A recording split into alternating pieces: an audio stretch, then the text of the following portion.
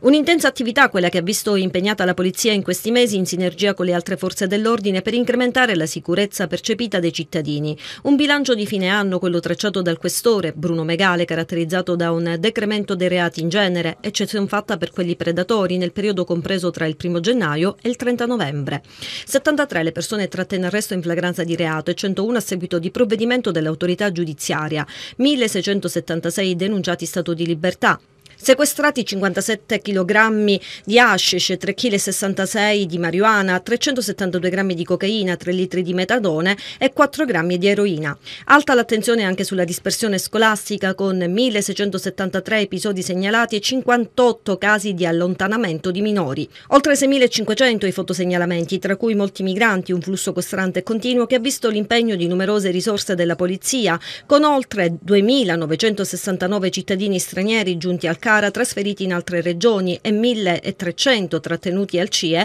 rimpatriati con accompagnamento coattivo. l'ultimo anno i dati dicono che c'è stato un oggettivo incremento delle presenze di immigrati, è un fenomeno epocale oggettivamente, quindi non Caltanissetta pur non essendo una città costiera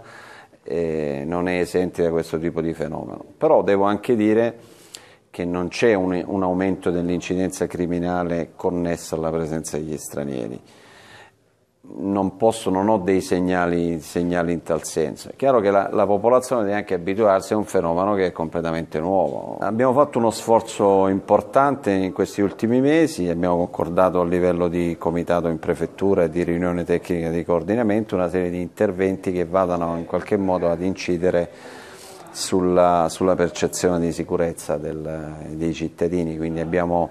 anche per la situazione contingente internazionale oggettivamente è un po' pericolosa, abbiamo aumentato tantissimo i controlli al centro, al centro storico e non solo al centro storico, tutti i luoghi di assembramento, tutti i luoghi di incontro, tutti i luoghi di raduno che potenzialmente costituiscono dei obiettivi per attività di tipo, di tipo criminale. Si è lavorato molto sinergicamente con i vigili e con altre forze di polizia per andare in qualche modo a controllare i quartieri più, diciamo, un po' più degradati del centro storico e a mio modo di vedere alcuni risultati cominciano già a vedersi. Due le operazioni di polizia Malleus e Redivivi che hanno colpito duramente la criminalità organizzata di Gela legata al clan Rinzivillo, un fenomeno che vede una nuova manovalanza. Le nuove leve sono sempre più giovani, quindi le organizzazioni criminali si rigenerano, hanno una capacità incredibile di rigenerarsi nel territorio e vanno a reclutare o, a, o ad attirare sempre persone sempre più giovani e questo in prospettiva è un fenomeno preoccupante.